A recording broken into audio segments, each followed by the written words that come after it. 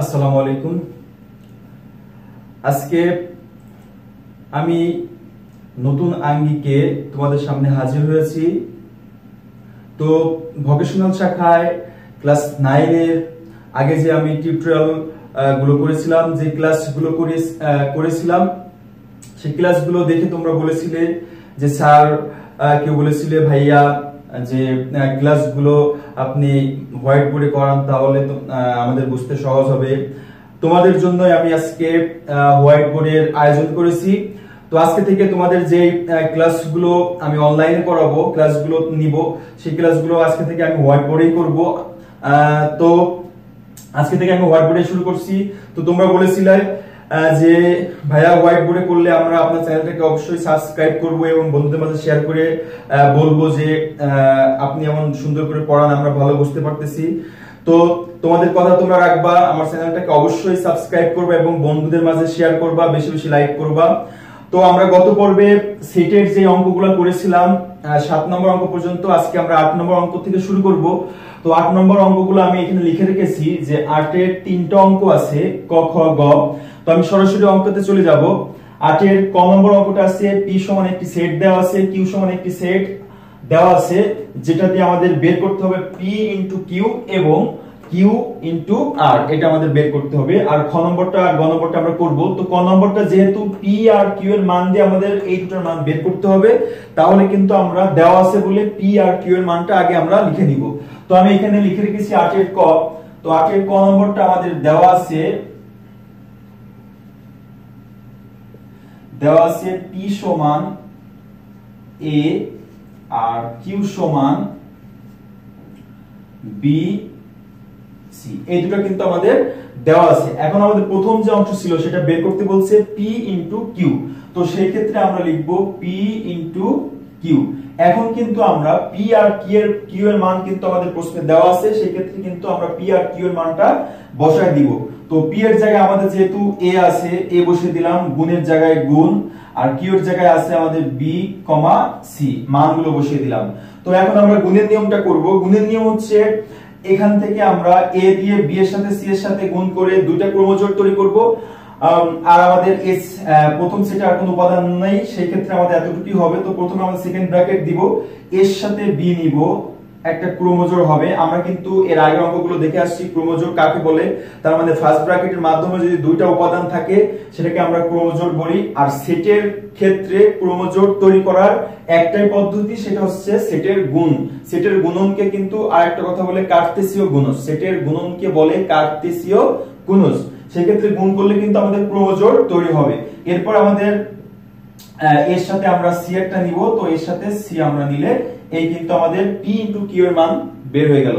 এখন কিন্তু আমাদের আরেকটা মান বের করতে বলছিল, যে হচ্ছে কিউ ইন্টু আর তো এখানেও আমরা কিউ এর মানটা বসাই দিব। কিউ এর মান ছিল আমাদের বিসি ইন্টু আর এর সরি আমাদের বের করতে বলছিল কিউ ইন্টু পি এটা হবে কিউ ইন্টু পি তো আমরা কিউ এর মান বসিয়ে দিয়েছি বিসি আর পি এর মান কিন্তু আমরা পেয়েছি এ এখন যদি আমরা গুণ করি বি এর সাথে এর একবার গুণ করব, তো আমাদের হবে বি কমা এ তো আমাদের এই সেটে আর কোনো উপাদান বাকি নেই, সেক্ষেত্রে আমরা দেখব কিউ সেটে আর কি আছে। কিউ সেটে আমাদের সি আছে সি এর সাথে যদি এ নিই, তাহলে আমাদের হবে সি কমা এ এই দুটো কিন্তু আমাদের অ্যান্সার হয়ে গেল। তো আশা করি অঙ্কটা বুঝতে পেরেছ। তো আটের ক নম্বর অঙ্কটা আমাদের ছিল হচ্ছে এ পি সমান এ সেট, এ আর কিউ সমান বিসি হলে আমাদের পি ইন্টু কিউ এর মান বের করতে হবে, যেটা আমরা এই পদ্ধতি বের করছি, আর একটা হচ্ছে কিউ ইন্টু পি বের করতে হবে। আশা করি অঙ্কটা বুঝতে পেরেছ। এখন আমরা সরাসরি খ নম্বর অঙ্কতে চলে যাব। তোমরা ওদিকে দেখো, খ নম্বর অঙ্কটা আছে যে খ নম্বর অঙ্কটা আছে আমাদের এ সমান থ্রি ফোর ফাইভ আর বি সমান হচ্ছে ফোর ফাইভ সিক্স এবং সি সমান আমাদের দেওয়া রয়েছে এক্স ওয়াই হলে এইটা সেকশন বি ইনটু সি বের করতে হবে। তো এই অঙ্কটা কিন্তু দুইটা পার্ট আগে আমাদের এই ফার্স্ট ব্র্যাকেটেরটা আগে বের করে নিতে হবে, এইটা সেকশন বি তারপরে কিন্তু আমরা সিটা গুণ করে দিব।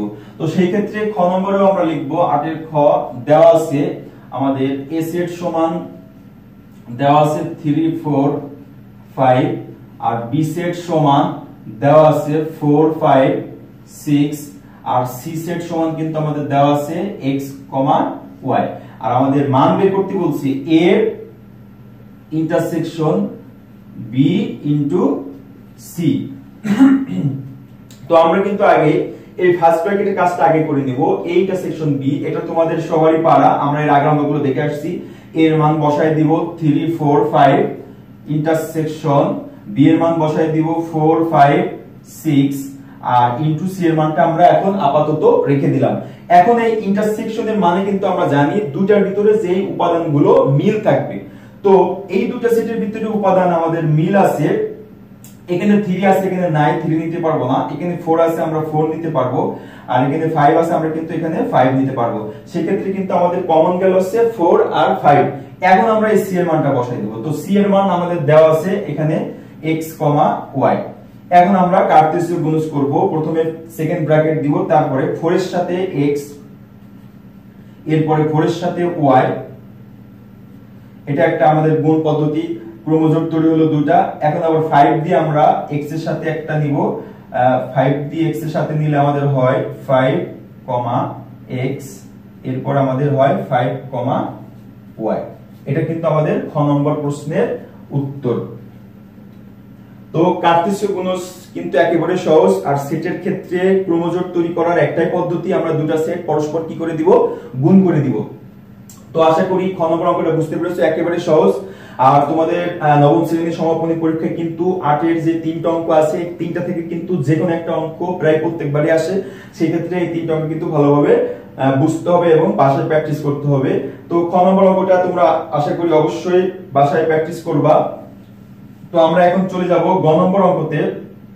গ নম্বর অঙ্কটা তোমরা দেখো যে আমি লিখে রেখেছি ওখানে পি সমান একটা সেটের মান দেওয়া আছে, আর হচ্ছে কিউ সমান আছে আর সমান আছে। সেই ক্ষেত্রে কিন্তু আমাদের এখান থেকে পি ইউনিয়ন কিউ তারপরে একটু আর এর মানটা বের করতে হবে। সেই ক্ষেত্রে কিন্তু আমাদের দেওয়া আছে, গ নম্বরটা আমাদের দেওয়া আছে পি সেট সমান 3 5 7 আর কিউ সেট সমান কিন্তু দেওয়া আছে 5 7 আর আর সমান আমাদের দেওয়া আছে পি বাদ কিউ এই বাদের নিয়মটা কিন্তু আমরা করে আসছি মানে বিয়োগ সেট তো এটা আমরা যদি একবারে করে নিই এখানে পি এর মানটা আমরা বসাই দিতে পারি। এই পি সমান কিন্তু আছে 3, 5, 7 আর এই বাদ চিহ্ন আমরা দিয়ে দিলাম আর কিউ এর মান কিন্তু 5 আর 7 এটা আমরা বসিয়ে দিলাম।